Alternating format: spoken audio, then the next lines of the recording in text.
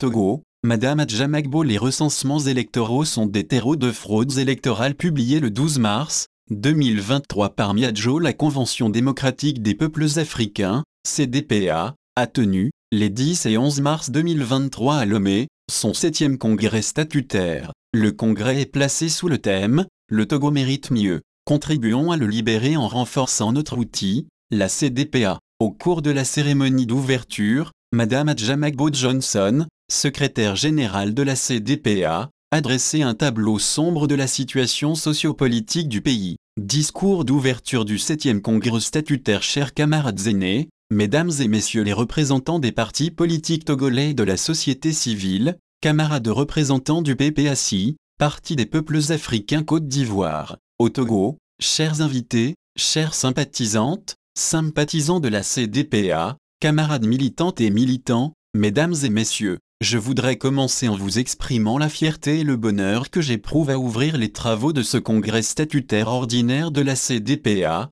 le septième du genre, que tient mon parti depuis sa création dans la clandestinité en 1987 et son enregistrement au Togo en 1991. Mais, avant d'aller plus loin dans mon message, permettez-moi de saluer les responsables ou représentants des formations politiques et d'associations partenaires et amis présents à nos côtés. Je voudrais précisément saluer les partis membres de la dynamique Monseigneur Kpodzro, en raccourci DMK, qui continuent de revendiquer le vote pour l'alternance exprimée par le peuple le 22 février 2020. Je veux nommer les présidents ou représentants des partis DSA, La Racine, le BAC, le NI, le Togo autrement et MPDD, les présidents ou représentants des associations ALCAD, FDP, Globe, MJS, CIGE, BINDJE, BINDJE. Je salue aussi la présence des partis amis de la DMK, en l'occurrence ceux du CAR, et du groupe des acteurs de la vie sociopolitique. Je voudrais saluer les chefs traditionnels ou leurs représentants qui nous ont fait l'insigne honneur de se joindre à nous ce matin. J'adresse mes salutations et mes remerciements aux personnalités qui se sont jointes à nous, particulièrement aux camarades du Parti des peuples africains Côte d'Ivoire, PPACI, dont la délégation est conduite par le camarade Nguessan à qui nous réitérons nos félicitations pour sa récente nomination en tant que représentant de ce parti ami au Togo. Chers camarades des fédérations du Togo et de l'étranger qui avaient, toutes activités cessantes, fait le déplacement pour ce congrès, je vous salue. C'est grâce à votre esprit militant et votre engagement total, que ce parti existe toujours depuis sa fondation dans la clandestinité en 1987, quand le Togo ployait sous la chape de plomb de la dictature de feu Gnassingbé et Yadema. Vous n'aviez pas hésité à assumer vos actes d'activiste politique pour contribuer à provoquer le mouvement libérateur du 5 octobre 1990. Je salue votre courage dans ce combat pour la démocratie, mais aussi votre précieux concours qui a permis la tenue des présentes assises, et je suis fier de vous.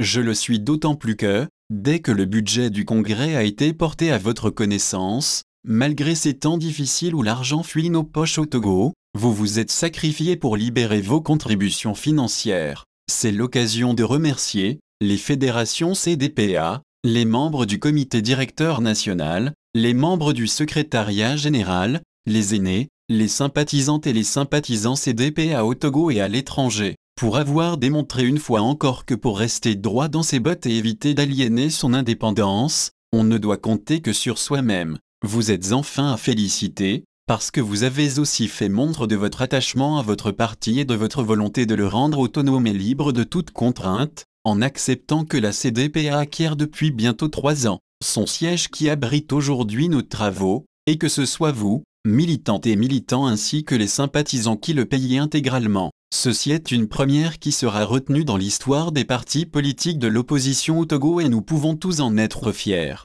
Oui, la CDPA est vraiment la propriété de ses militants. La CDPA est un grand parti politique et avec l'aide de Dieu, n'ayons aucun doute que d'ici quelques années, nous serons totalement affranchis de nos dettes. Mesdames et messieurs les invités, chers camarades, ce septième congrès se tient avec deux ans de retard et pour cause, l'état d'urgence sanitaire décrété, certes avec justesse pour contrer la pandémie du Covid, a été abusivement prolongé par le régime RPT Unir aux Abois pour paralyser toutes activités politiques au Togo, notamment toute activité de revendication de la victoire des Togolais au lendemain de l'élection présidentielle du 22 février 2020. Heureusement que la ténacité de la DMK dont la CDPA est membre, est venue à bout de ce plan machiavélique qui voulait museler les partis politiques au Togo. Oui, nous pouvons aussi être fiers de ce que la DMK a œuvré patiemment et sans violence pour lever des entraves que ce régime n'a cessé de multiplier pour reprendre enfin ses activités politiques et tenir enfin son premier meeting à Vaughan en novembre 2022,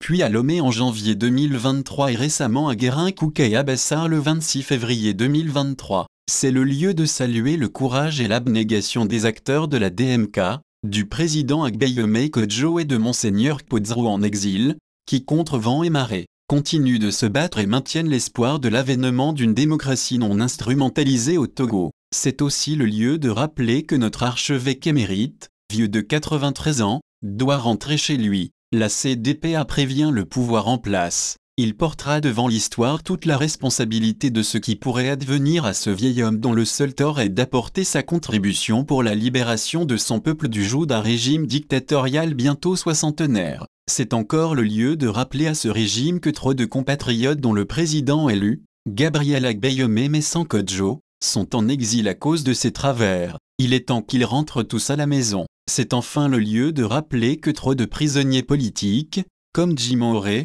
Jean-Paul Lomoulou et beaucoup d'autres croupissent dans les prisons, parce qu'ils ont osé dire assez de la tyrannie. Il est temps qu'ils retrouvent leur liberté. Mesdames et messieurs, chers camarades, faut-il le faire observer? Le 7e congrès statutaire de la CDPA se tient à une période où l'ordre mondial unipolaire étant contesté, une bataille se tient même entre puissances tenant d'un unilatéralisme et celles agissant plutôt pour un ordre multipolaire. La guerre qui se déroule en Ukraine témoigne de cette rude bataille pour le contrôle du monde, dont nul n'est assuré de l'issue. Les conséquences du conflit se ressentent durement partout et accentuent la paupérisation de l'immense majorité des populations travaillant et produisant des richesses dans le monde, qui avait déjà été fragilisée par la pandémie du Covid-19. Quelle sera la place de l'Afrique dans le nouvel ordre futur? Les dirigeants sauront-ils jouer habilement afin que le continent émerge et ait davantage de voix dans le concert des nations? Dans ce tableau d'un monde en mutation, l'Afrique, notre pays le Togo, mais aussi la CDP sont à la croisée des chemins. Après avoir subi les affres de la période coloniale, les conséquences de l'affrontement Est-Ouest et les violences des dictatures des partis uniques encouragées par l'Occident, l'Afrique connaît maintenant la période des démocraties instrumentalisées, marquée par des successions monarchiques, des trucages répétés des élections y compris des mandats présidentiels indéfinis. Cette situation est possible pour des raisons multiples relevant certes de la responsabilité des élites politiques et intellectuelles africaines, mais il faut le reconnaître aussi que les puissances coloniales et occidentales ont largement contribué à travers leur soutien et complicité à installer et maintenir des régimes dictatoriaux et corrompus, entièrement à leur service. Face à ce constat, il faut saluer l'éveil progressif de la conscience des peuples africains qui aspirent à la démocratie, à un monde plus juste, et à une souveraineté véritable des pays africains résultante d'une libération effective du continent de la domination de l'Occident et notamment des ex-puissances coloniales. Le bon sens des peuples africains les conduit à adhérer de plus en plus au panafricanisme, en tant que démarche pour libérer le continent de la domination et l'imposer comme une puissance mondiale. La renaissance du panafricanisme est une opportunité pour les progressistes africains. La succession de coups d'État enregistrés en Afrique de l'Ouest, plus précisément au Mali, en Guinée et au Burkina Faso illustre ce désir de démocratie, de développement et de souveraineté des populations qui soutiennent les nouveaux dirigeants s'inscrivant dans ce choix populaire. Les populations demandent que les pays soient libérés des accords signés à l'époque des indépendances et sont choquées à l'idée que nos pays constituent le précaré de l'ancienne puissance coloniale. Les mutations en cours dans la sous région et notamment dans les pays du Sahel sont source d'espoir pour les autres peuples africains qui prient pour que les dirigeants des pays concernés réussissent à instaurer de vraies démocraties bâties sur des valeurs de souveraineté, de primauté des intérêts des peuples et de libre choix de partenaires. Mesdames et messieurs, chers camarades, je ne saurais terminer cet état des lieux sans parler de la terre de nos aïeuls, le Togo. Oui le Togo va mal, très mal, et c'est le moins qu'on puisse dire. Nous sommes toujours sous le joug d'une caste au service d'intérêts multiformes. Les gouvernements RPT unir qui se succèdent n'ont cure des souffrances des Togolais. Leur seule obsession c'est le maintien au pouvoir vaille que vaille. Sur le plan politique, le Togo a tous les traits d'une dictature, liberté politique publique et individuelle confisquée, institution censée être républicaine contrôlée et au service du pouvoir en place, violence d'État utilisée pour maîtriser toute contestation. Cette violence d'État frappe aveuglément militants de partis politiques et responsables, défenseurs de droits de l'homme, citoyens lambda, journalistes. En témoigne l'actualité récente de la disparition de Ferdinand Hité, directeur du journal L'Alternative, qui redonne signe de vie et explique que sentant le danger imminent, il a dû se mettre à l'abri suite à l'acharnement judiciaire dont il est l'objet dans un dossier censé être pourtant clos. En raison de cette obsession de se maintenir au pouvoir envers et contre tout, le Togo souffre depuis l'entrée formelle en démocratie en 1992, des élections frauduleuses trop vite validées par la communauté internationale. Les résultats des scrutins sont connus avant les votes, le code électoral est instrumentalisé et est en perpétuelle modification. Les découpages électoraux et les modes de scrutin sont taillés depuis plus de 30 ans sur mesure paré pour le RPT Unir, les recensements électoraux sont des terreaux de fraudes électorales, les institutions à la base des fraudes électorales, la SONI, la Cour constitutionnelle, la Cour suprême sont acquises au régime et sont à l'origine des fraudes électorales. Le même scénario se prépare pour les élections législatives à venir qui sont préparées dans l'opacité totale et l'exclusion de la DMK, force politique principale apportant la contradiction au régime, par une Sony entièrement acquise au régime. Ces élections non inclusives, non transparentes et démocratiques, porteuses de violences pré- et post-électorales, sont généralement suivies de dialogues dont les décisions ne sont pas appliquées, ces dialogues étant eux aussi une ruse du pouvoir pour gagner du temps et se maintenir. L'ADMK a dans ces conditions a pris ses responsabilités au lendemain de l'élection présidentielle de 2020, en adoptant une position qui permette d'arrêter ce cercle vicieux d'élections, violence et négociations. La violence exercée contre les responsables de la DMK a provoqué des départs en exil, augmentant le nombre déjà trop important d'exilés politiques togolais. Oui, aujourd'hui le président Agbeyeme Kodjo et l'archevêque émérite Monseigneur Kpodzro sont en exil, mais la répression n'a pas émoussé l'ardeur des leaders et militants de la DMK.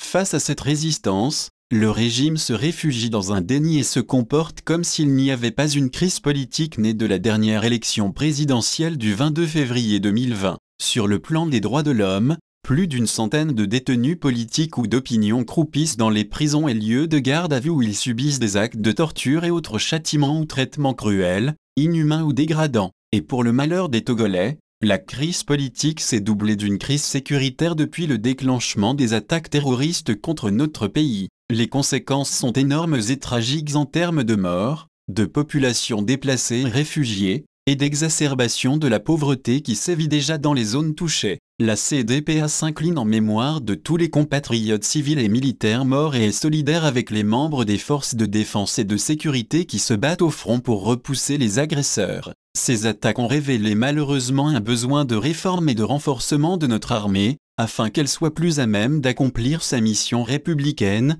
au lieu de la cantonner au soutien d'un régime contre les citoyens. La CDPA est très inquiète du sort de nos populations touchées par les attaques terroristes et quant au devenir du Togo. Face à ce tableau sombre, le bon sens n'aurait-il pas été pour ceux qui se maintiennent au pouvoir, de créer les conditions d'une cohésion nationale pour faire face à l'ennemi commun? Contre toute attente, le régime reste sourd aux appels à créer les conditions pour le retour des exilés à libérer les détenus politiques et à engager des discussions sérieuses et sincères sur les maux dont souffre notre pays et les sujets conflictuels au rang desquels le contentieux électoral du 22 février 2020. Sur le plan économique, la corruption a gangrené toutes les structures du pays comme le démontrent les scandales dénoncés par la presse et comme le révèle l'audit des fonds Covid par la Cour des comptes. La solution est bien entendu de sanctionner ces crimes économiques et d'imposer aux gouvernants la déclaration de biens avant et après leur prise de fonction. Mais, pour les sanctions, rien n'est fait malgré la mise en place de la Alpucia.